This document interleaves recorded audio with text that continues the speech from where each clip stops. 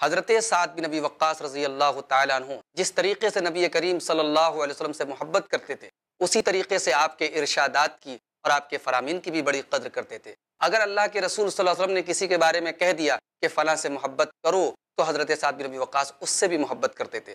حضرت سعد بن نبی وقاص کے ایک بیٹے ہیں، عامر بن سعد۔ وہ ایک مرتبہ اپنے والد محترم حضرت سعد بن نبی وقاص سے پوچھتے ہیں کہ، اے ابا جان، کیا بات ہے؟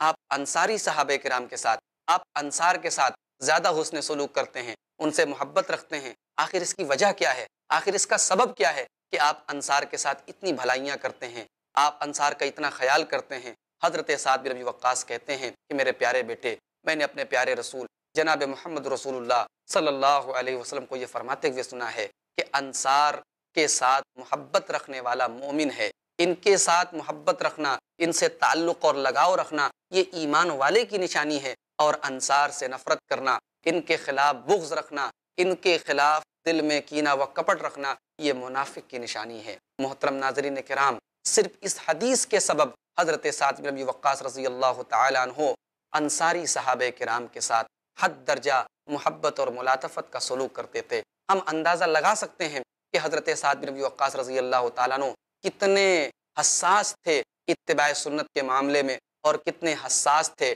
نبی کریم صلی اللہ علیہ وسلم کی باتوں پر عمل کرنے کے سلسلے میں۔